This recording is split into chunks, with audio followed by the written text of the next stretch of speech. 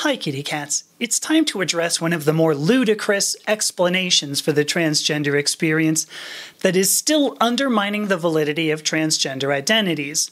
I'm talking about autogynephilia. Autogynephilia is a concept originally developed by Ray Blanchard in the 1980s to attempt to explain transgender women, that is, people assigned male at birth who identified as women. Despite a startling lack of evidence, as well as being condemned by WPATH, the World Professional Association for Transgender Health, autogynephilia still appears in the DSM 5 as a specifier to psychiatric disorders.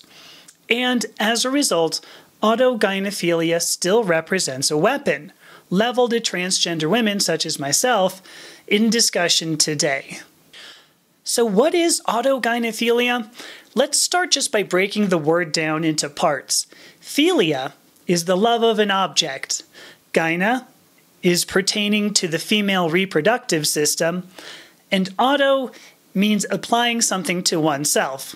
So, the meaning of the word autogynephilia is a love so great for the female reproductive system, a person wants one for themselves. This concept immediately reduces transgender identity to physical structure alone. It ignores the cognitive, the behavioral, the social aspects of the overall human experience. And worse, autogynephilia turns transgender women into fetishists who are then fetishized themselves. If Blanchard's theory is true, it should also imply that human masculinity is only about fetishizing women, and conversely, the typical human femininity is only about fetishizing men. The full spectrum of the human experience becomes only pursuit of a sex act. Autogynephilia, and its contraction to AGP, is now used pejoratively to describe transgender women. It's become a shortcut, to dismiss a long, difficult act of introspection and action and replace it with a nebulous sexual connotation Freud could never have dreamt up. But identity is not solely about sexual arousal.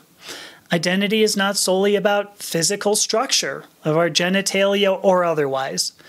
Identity is a complex of how we look, how we think, how we feel, how we act, and how we express those characteristics within our social environment. When Blanchard introduced his concept of autogynephilia, he did not introduce a new theory of gender or a new theory of identity.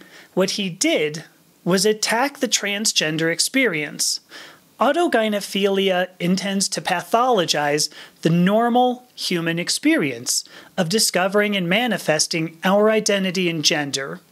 So if you hear the word autogynephilia in discussion about gender, you can be sure the speaker intends not to respect any experience outside the cisgender, heteronormative experience. And then I recommend you leave the immediate area as quickly as possible. For an inclusive and complete theory of identity and gender, I invite you to watch my presentation, Sex versus Gender, on my theory of gender as a mediator. And for a real look into the transgender experience, I invite you to view my playlist Ami in Thailand, which documents my life leading up to gender affirming surgery in July 2024. You can find both by clicking the link in my bio. Now, please like this video and follow me for further transgender education that treats the transgender as only human.